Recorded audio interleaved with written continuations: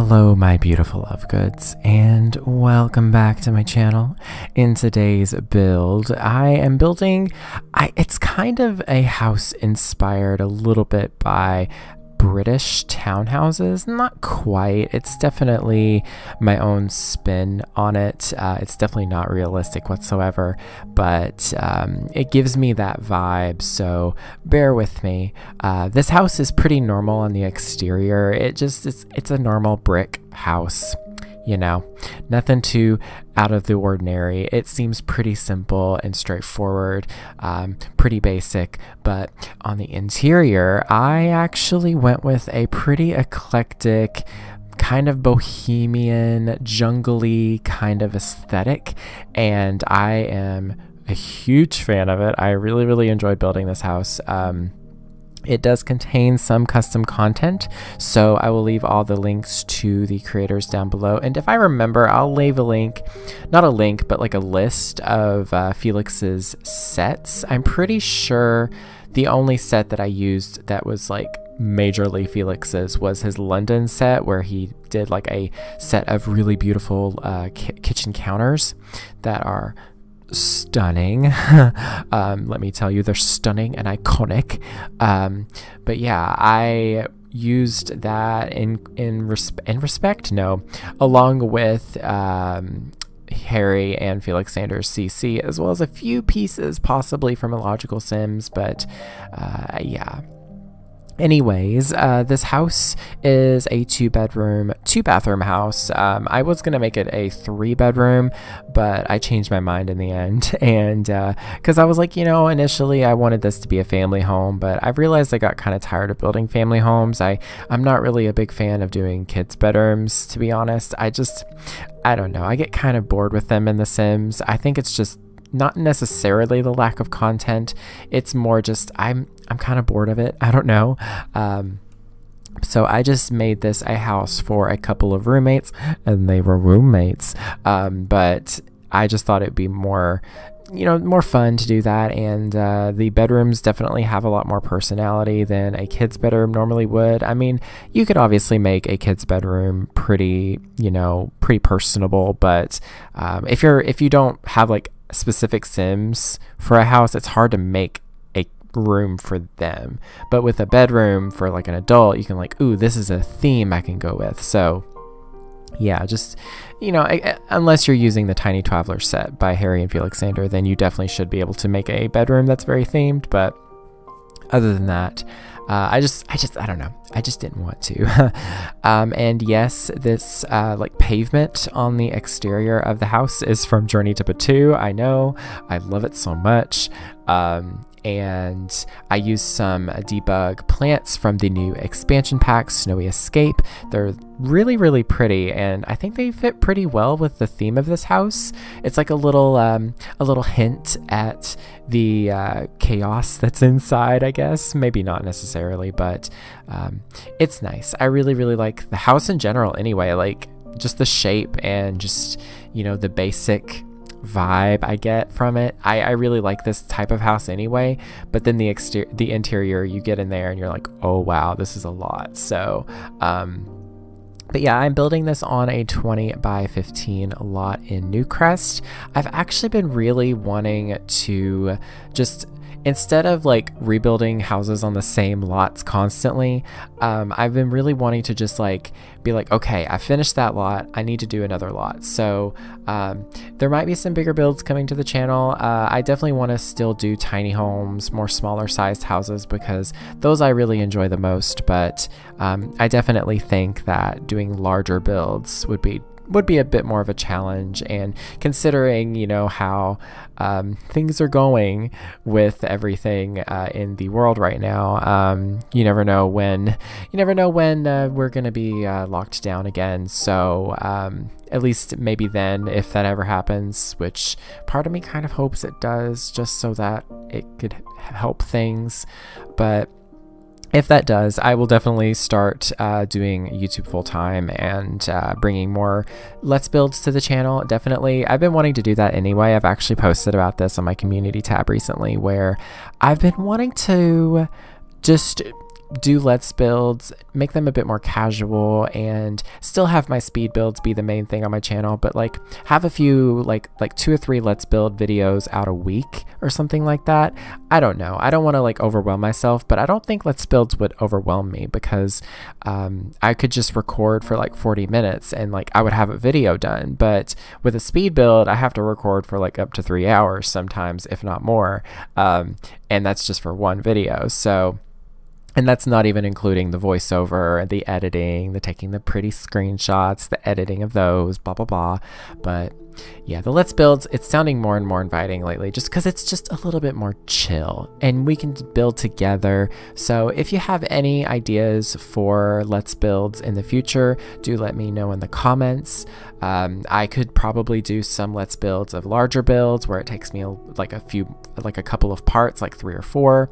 But then I would also like to do some Let's Builds where we just kind of do it all in one go, like a tiny house, for example, we could definitely do in one go. It might be a little bit of a long video if I do it all at once, but I don't know. I see that being a good thing too. It's just, it's whatever you all like. I, I definitely want to do it and uh, give it a try myself. So um, I definitely want to pull a uh, Devin Bumpkin, if you will, because can I just say, Devin Bumpkin's recent Let's Build the World, not recent, he's been doing it for a bit, but his Let's Build the Worlds uh, like series is so good. Like his builds are fantastic regardless of what he does. But just that format I really enjoy. It's just casual, it's chill, it's hilarious cuz you know Devin Bumpkin, he's really funny and just I love his personality. Uh, he's a he's a he's got a really good personality for a YouTuber. Like like you know like you know people that just they have that vibe that they're perfect for what they're doing he's one of those there's a lot of people that i know in the sims community that are just they're great at it. Like Lilsimsie, she's great at it. Like I don't know if I'm necessarily good at it, but I, I like to think so. Um, but yeah, I wasn't really sure what style I wanted to go for with this house. I wanted to, I, w- I initially was going to make this pretty like basic, not basic in that in that it would be boring. I can't speak. I'm so sorry. I'm rambling. Um, but I wanted to do like white walls and make the furniture kind of quirky and mismatched, but still keep it kind of light and white. Um, just because I thought, you know, maybe it was like a rental and they couldn't really paint the walls, so they kept it basic. But I threw that out the door really quickly and I was like, no, I want this to be a eclectic like fantasy. Like I want it to be like you walk in the door, you're like, oh wow, this is a lot of plants. This is very green. This wallpaper is super busy, but I I'm obsessed with it. I, I used a lot of CC, of course, um, to do this. Not a lot. It it was a good amount of in-game content as well, but the wallpaper that I'm using here is from the Tiny Traveler set uh, by the amazing Harrie and Felixandre. Uh, they did a really good job with the set, and uh, I also used some uh, Journey to Batuu uh, pavers in the kitchen. I kind of love this. It looks like hexagonal tiling to me, and I think it works so well. I really hope that someone takes these and adds like a bunch of colors to them. Like Peacemaker, Harrie, somebody, I hope they do it. I'm not like putting pressure, but just saying if y'all did it, it'd be great. Um, I would be absolutely obsessed with it because I love hexagonal tiling. Uh, I've always really enjoyed it, and uh, especially in these kinds of builds where it's kind of rustic but kind of eclectic, I think it suits really well. And I think that this works the way it is regardless without recolors or anything. So, and I also used some Journey Batuu lights. I know, I couldn't help it. They're just, they just have a vibe that I really like. They're kind of industrial and they fit really well with this aesthetic.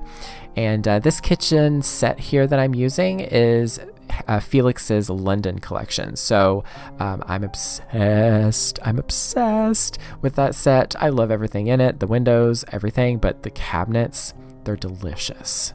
They're stunning. They're iconic. They're just, they're everything. So definitely, uh, if you are if you aren't like interested in downloading CC, I would say that the Parenthood cabinets would actually suffice really well. Um, there is actually similar colors to you know what I did use, um, and I'm pretty sure that you could easily just use the base game ones as well too. But I love these so much; they're so pretty. And then the windows that I used eh, above the um, above the sink, they're actually from the Snowy Escape. They're so nice. Those windows, like at first when I saw them, I was like, oh, these are pretty similar to Felix's. I don't really, you know, I'm not like going to be super blown away by them. But when I actually started using them, I'm like, oh, wait a minute. These aren't just usable for like Japanese styled homes. These are actually functional for just normal houses. Like, they're actually so pretty. And I see them working really, really well in like kind of witchy builds too. Like, you know, like practical magic witchy. Not, not like, you know, um, Jezebel witchy, you know, like not like the hee hee hee witch, no, like more like the Sally Owens my my queen Sally Owens. Um, my username on Twitter is Lucca underscore Owens, specifically because of Practical Magic. I know that's a lot, right? Um, and I've even considered because. Uh, I, I've never told you all my last name. I don't want people to know my last name. I don't like my last name. Um, but if I ever did change my last name, I would change it to Owens um, because I love that uh, movie so much. And uh, yeah, I've even considered okay, this is to be really, this is really not cringy, but just it's a lot. Um, I have actually considered changing my name to, because I'm, if you all don't know, I haven't spoken about this much here on my channel, let's be honest.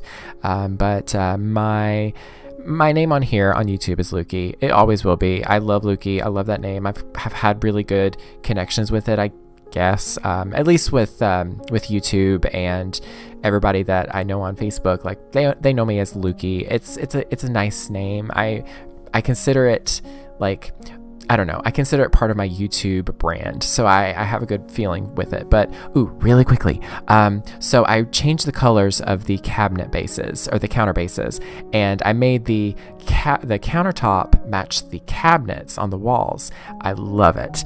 Anyways, um, but I have a, I guess you could say a new name that I've actually had a lot of really good feelings towards for years. Like, literally since I was like in middle school. Like, I have been in love with this name. I've always wanted this name, but I never really admitted it.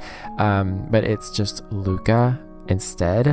um, it's L U C C A specifically um, because there was a character in a, a Super Nintendo uh, JRPG called Chrono Trigger, and the main character's like childhood friend that he like kind of grew up with, uh, her name is Lucca, and I just always loved that name because she kind of gave me Velma vibes.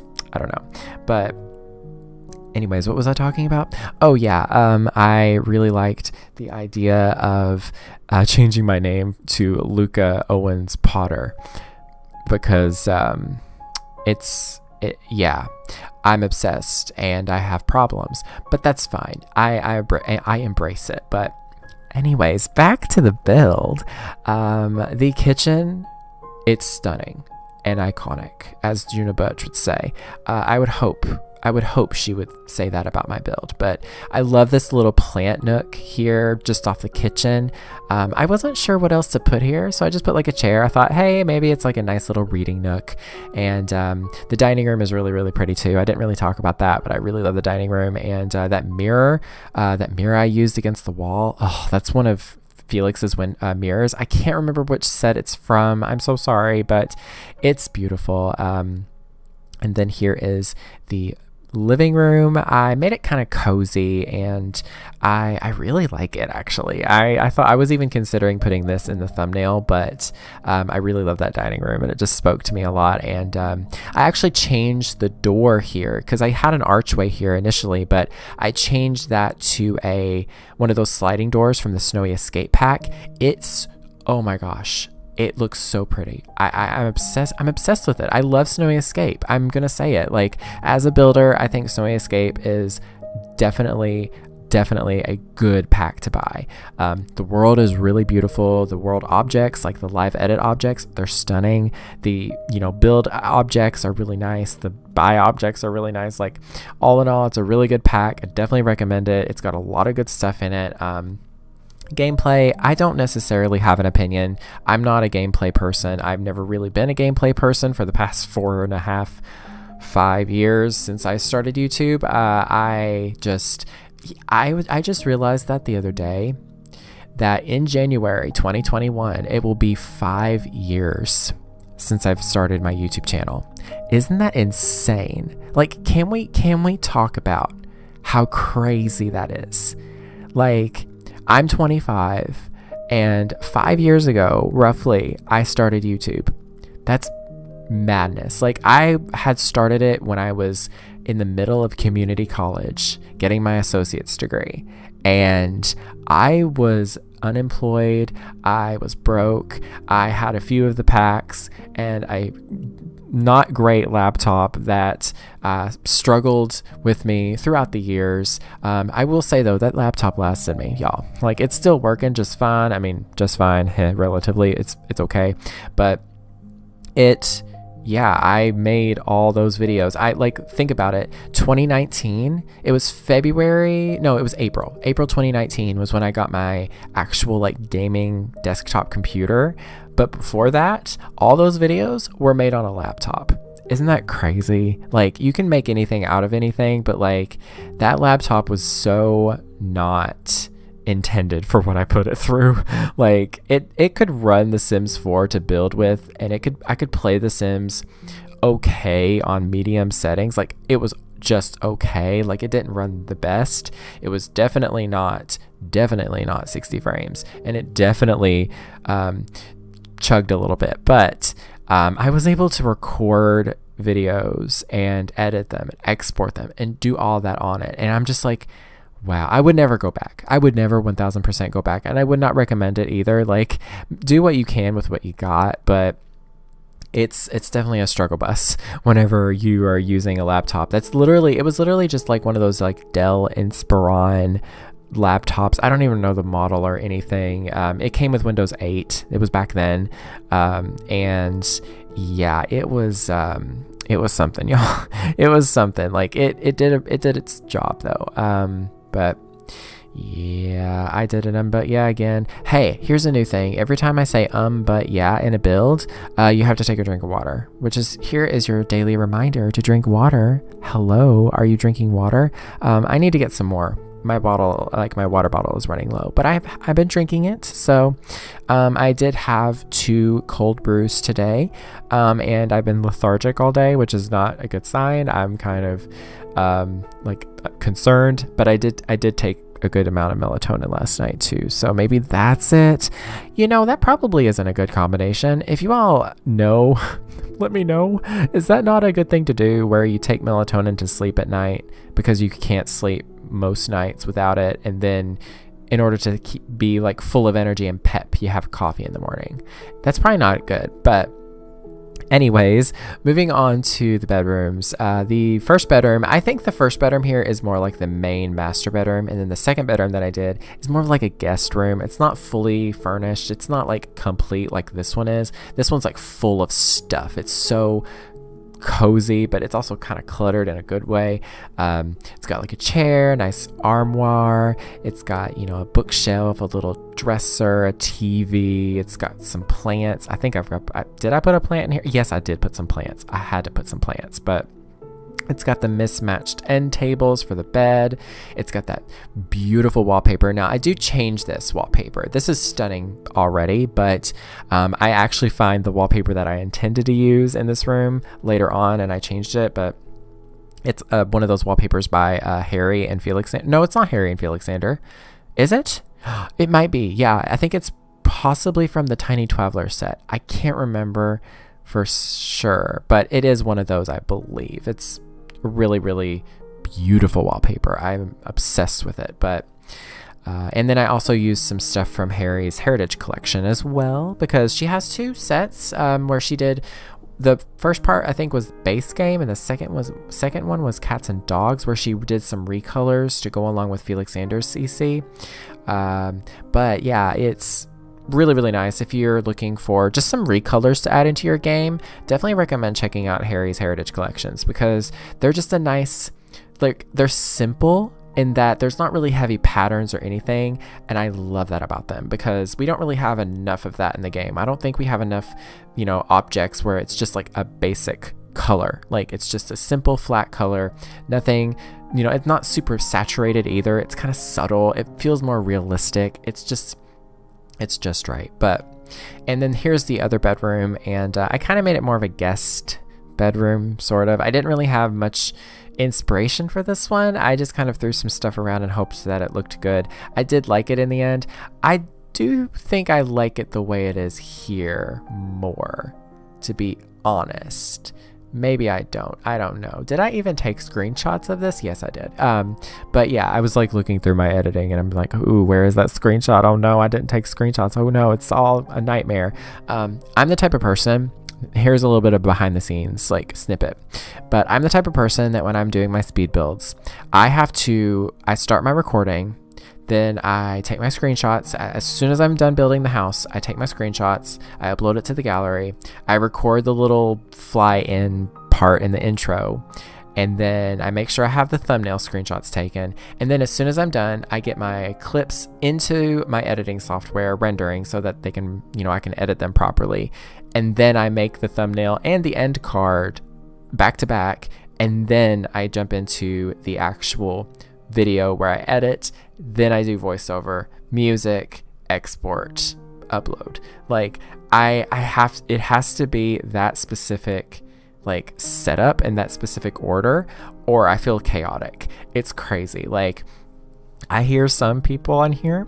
I'm not calling any shade out either. Everybody has their own process and whatever works for them works for them. But I've heard people being like, oh, you know, in their voiceovers for speed builds or whatever, I haven't taken screenshots yet. I'm like, how, how, like, like what if what if the voiceover ends and then you don't know how long the screenshots are going to be and then you have all this extra voiceover and then it goes too far into the video yeah i think this is that's part of my um my uh, chaoticism. Chaoticism? Chaotic, chaoticness? I don't know. It's part of my chaos that I need it to be in order. Isn't that weird? I don't know. But there I changed that wallpaper. I, I do believe it is from Tiny Travelers. It's so pretty. And I also put one in this upstairs bathroom. The upstairs bathroom I kind of love. It's simple, it's small, it's straightforward. I love it. But yeah, and all I did for the remainder of the build was just add in some stuff for the backyard just to keep it, you know, keep it from being just like an empty backyard. I was even tempted to be like, eh, I just decided not to do that. Because I'm not really the biggest fan of doing exteriors anymore. Like, I love building and I love interior design and even building the house, but I don't like landscaping or figuring out where to put things on the outside because it's not really a room to me. But it is, but it's not. I still like how it looks though. I love it. I love this little back step with the chair and the vase and all the plants just sitting around and, you know, the planter boxes and this little string light thingy. I like it. It's nice. But Anyways, this house is available on the Sims 4 gallery. All you have to do is search for my username Lukey Dean and the hashtag Lukey to find it. Uh, and yeah, that is pretty much it. Thank you all so, so very much for watching. Stay weird and beware of the nargles.